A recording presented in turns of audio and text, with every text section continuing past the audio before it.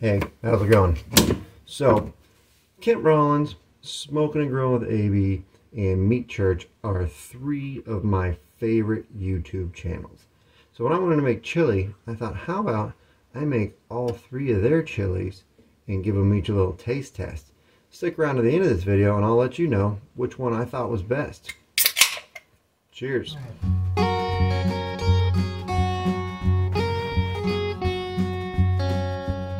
Cowboy Kent Rollins is our first chili. Start off with a little steak that I did the other night on the griddle. Um, this one didn't call for steak, I just had it so I wanted to put it in there. There's some ground beef I also did on my griddle when it's food prepping. Normally you'd cook your beef when you do the chili, but I had this all done ahead of time. Uh, steak's pretty rare, but we're going to cook it more and more until it falls apart.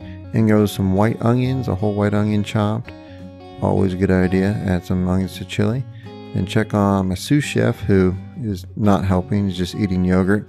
It's just hard to find good help nowadays. All i did is eat the whole time. He didn't even chop any of the vegetables for me. Anyways stir that up. Here comes the chipotle peppers and adobo sauce. These were very good very flavorful and added quite a bit of heat to be honest with you. Probably because i didn't get rid of the seeds that were inside did you see there. But you know cowboy didn't get rid of the seeds so i'm not getting rid of the seeds. This is his recipe Put them in there. You gotta toughen up. It's cowboy chili, you know. Turned out real good. Here comes some Rotel. That just seems like a cowboy brand. I don't know if that's made in Texas, but two diced tomatoes with Rotel from Rotel. Then some water. Um, not a big fan of adding water. I mean, it doesn't really bring much flavor. It feels like we're just literally adding liquid. But you know, who am I to say anything? Kent has like way more subscribers than I ever will, and he's a great cook kidney beans, Kroger brand, because they're on sale. It's how I live my life. Garlic, cumin, salt, oregano, and obviously chili powder. I'll have a link to his exact recipe in the description. This was a nice little seasoning combo, added a lot of flavor.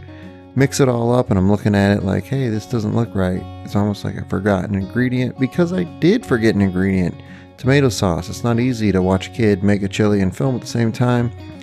Who am I kidding? He watched himself. But yeah, added the tomato sauce, simmered it on the stove for a while. Oh, I also make cornbread, forgot to tell you that, and a 12 inch cast iron skillet. Want to really keep with the cowboy theme, you know, like we're home on the range rather than home in our condo in Columbus, Ohio. But I just want my son to feel like he's a cowboy for a day.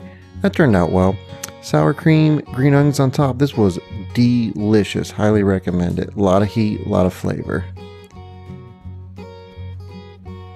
Next up is smoking and grilling with AB. I ain't gonna overtalk it. Let's just go ahead and get cooking this chili. That's my AB impersonation. I apologize, it was terrible, but I love his channel. I absolutely love his channel. Um, oil going in there, garlic into the oil. I like this. This brings out the flavor of the garlic by just getting in the oil, heating it up. A little bit of red onion. I also like red onion better than white onion. So, so far, pretty big fan of AB's chili. Still like Kent's as well. There goes the ground beef in there. I'm gonna cook that up with the garlic and the onions. Started off with the rubber spoon, which clearly was doing terrible. Then I got my mom meat masher. That's what I call that. It's the uh, meat mash all the crock pot ladies have on YouTube.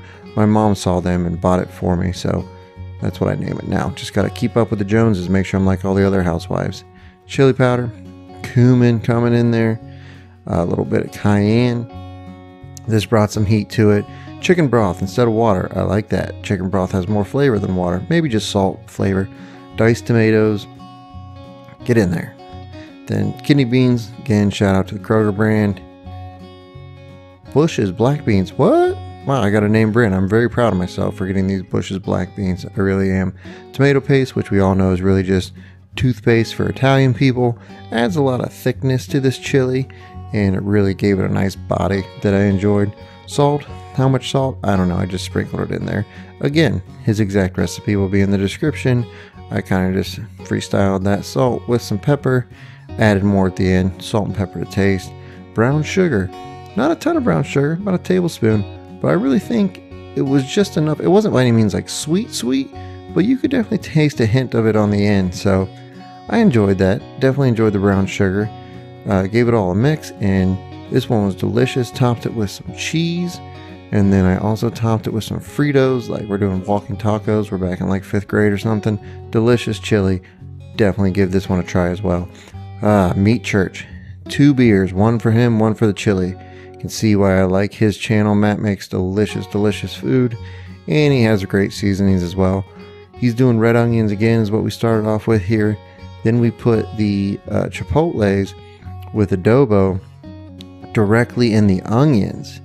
Uh, there's the sauce, and then magically, because I forgot to film it, boom, there is the diced up peppers. You can see those right there. And this really got a lot of the flavor out, I thought.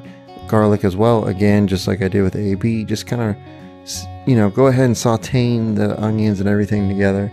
Then we have a little chuck steak, a real cheap chuck steak that I just kind of got some color on in my Dutch oven. Ooh, good color there. And then uh, I cooked everything back in that same Dutch oven.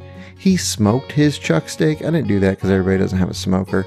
Uh, sausage, Jimmy Dean's hot, ground beef, one pound of a five pound log. Take a look at this steak.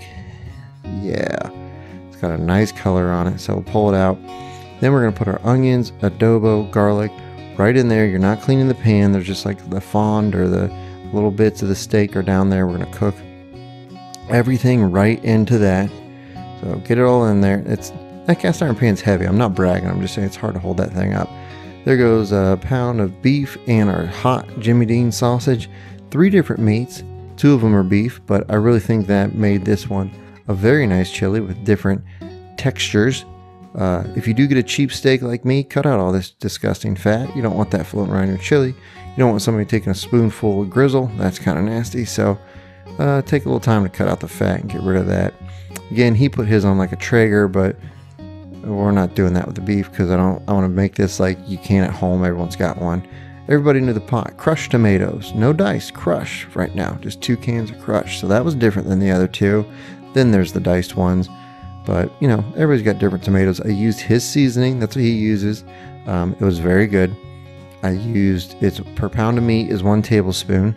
It had a nice kick to it. Wasn't too spicy, but you can dial it back if you want. And you only need one seasoning. Put in a can of Bud Light. He used Miller Lite. I used Bud Light. Doesn't really matter. Wasn't going to use a good beer because I want to drink those, so I just used a light beer. Nothing wrong with Bud Light. I drink those a lot too. Got our beef and our sausage here. We gotta make sure none of that fat gets in there, or else it's gonna rise to the top and make a nasty chili. So I took the slotted spoon and tried to get all the grease off. And there's no beans in this. It's Texas chili, no beans. They are very, very opinionated about their chili, and apparently they hate beans down there in Texas. So no beans. Put the lids on there, simmered it for a while. Now, I did take this one to work and throw it in the smoker to reheat, but you know, not everybody has that option. I just wanted to say that I did that because it did turn out really well by reheating in a smoker. So do that if you got it. But it was a great chili. I definitely recommend giving this one a try. Well, folks, it was a tough decision, but I think when it came down to it, due to the ease of using the pre-made spice mix and the large chunks of meat, I think my favorite one, and I'll probably add beans next time, but my favorite one was Meat Church. That's the winner. Sorry, hope it's not too controversial. Uh, give it a try if you want to try some other wild stuff that I've done on the griddle. Watch the video on your screen now. Cheers.